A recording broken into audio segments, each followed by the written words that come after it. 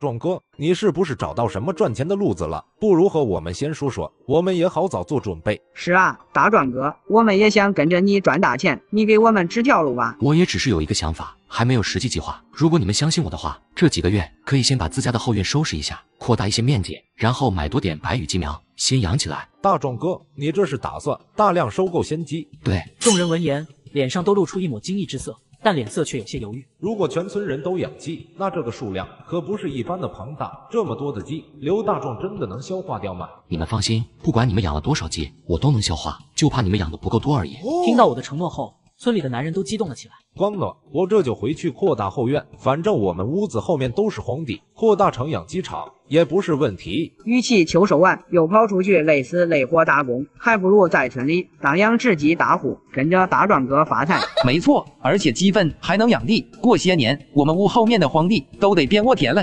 这些村民越说越激动，说到最后都忍不住激动的心情，纷纷回家张罗着扩大后院的事情。我见到村民们这么有干劲，脸上也露出一抹笑容。我心中的想法也渐渐有了粗略的计划。这些走地鸡不仅可以高价卖到吉祥茶楼去，还可以送到食品加工厂，大量生存成鸡货，销售各地，成为各大食品加工厂的供应商。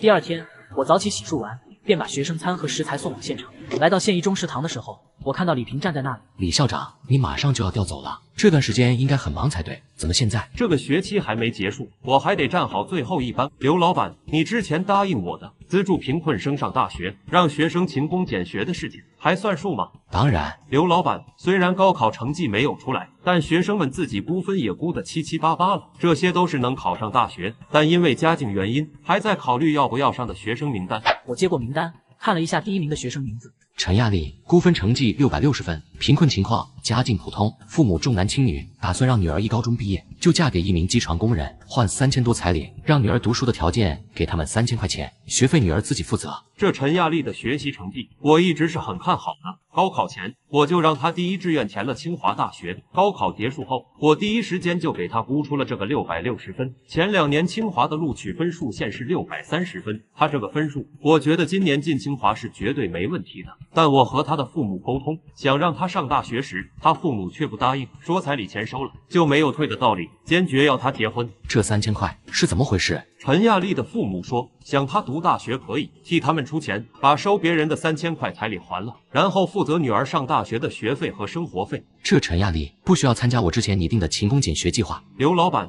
你这是？李校长，你别误会，我的意思是，勤工俭学计划资助的是家境普通、成绩也只够考上普通大学的学生。我有一个新计划，那就是所有能考上二幺幺大学的贫困高考生，只要愿意加入我名下企业的产品宣传计划，都能得到我名下企业的免费资助，学费、生活费全包，还有五千元的奖金。你说的是真的？我认真的点了点头。我也是刚想到这个主意。二幺幺大学工程是去年年底国家才正式启动的，入选的大学并不多，只有十二所。但放在后世，这十二所大学个个都是名牌高校。像陈亚丽这种考上二幺幺工程的名牌大学生，他们身上的名牌大学生身份是最佳的宣传亮点。吉祥茶楼的宣传广告上，只需要挂上陈亚丽的肖像，随便打上一句连清华大学生都爱吃的茶点，绝对能让无数的家长疯狂。刘老板，我要替这些读不起书的学生，谢谢你啊！李校长，你想不想在升迁之前再积攒些政绩？刘老板，你的意思是？我愿意把这两个资助贫困生计划在整个凤凰县高中里推广开来，不过这事我一个人办不成。我简单说了一下自己的想法。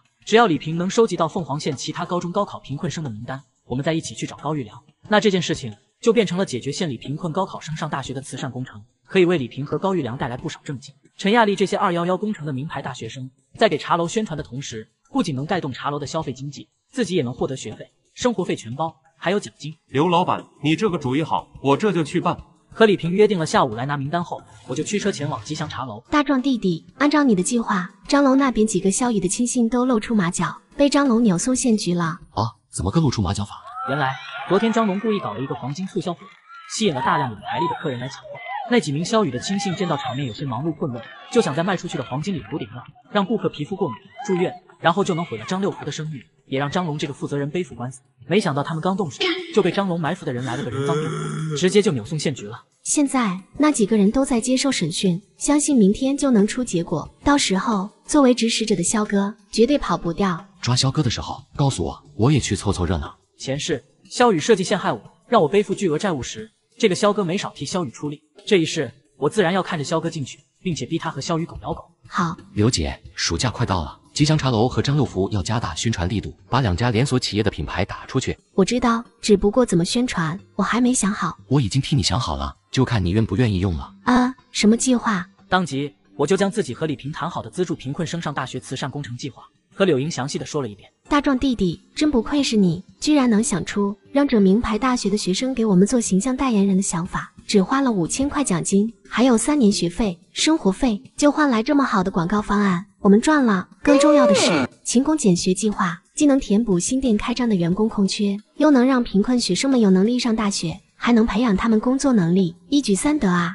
刘姐这么说，你同意我的计划了？当然，能帮到这些家境贫困的学生，我也很高兴。走出吉祥茶楼后。我又给张龙打了一个电话，大壮老弟，我正想和你说，我把肖雨安插在张六福的几名内应抓起来的事情，你就打电话过来了。张大哥，这件事情我已经知道了，我打电话给你是和你说一件事情。哦，什么事？我也不废话，当即和张龙说起了资助贫困生上大学的计划。大壮老弟，你这个计划好，孩子是祖国的未来，特别是这些读书好的孩子，绝对不能让他们因为学费问题放弃上大学的机会。这个资助贫困生上大学的慈善工程，我张龙投了，而且只要我还能赚钱，我就一直投。我闻言。不免有些动容。张龙不愧是退伍军人出身，身上虽然有商人的铜锈味，但也有一颗报效祖国的赤子之心，难怪前世能成为慈善家。张大哥，有你这话，我可就放心去干了。放心干，钱不够算我的。同时，沉香室内，一辆黑色的奥迪六后座上，一名中年男人正阅读着手中的文件资料，虽不说话。整个人身上却透露着一股不怒自威的上位者气息。萧氏沉香集团做事越来越不按规矩了，这样下去迟早要出事。把文件资料打回去，不用告诉他们哪里出了问题，让他们自己找。如果还敢在我面前浑水摸鱼，那他们就别想再入注室里那个项目了。是唐市长。老唐，你说有关于小柔的事情要汇报，是怎么回事？这丫头又惹什么祸了？祸倒没有闯，反而她还肃清了一桩冤案，披风黄线江家平反了。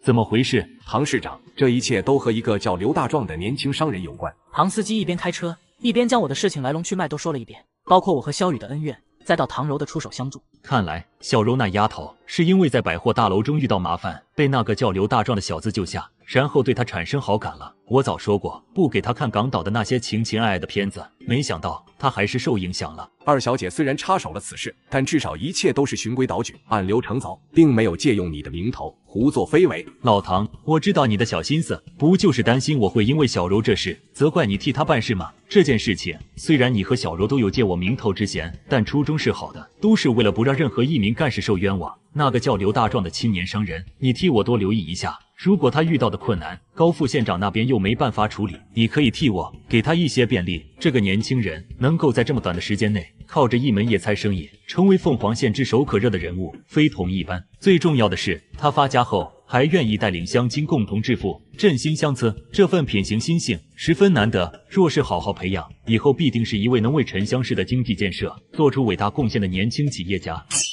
我还是第一次见到市长对一名年轻人有这么高的评价。是，真的是要培养一名年轻企业家，而不是要培养一名未来女婿。是，市长，我一定牢记你的指示，坚定不移地完成此事。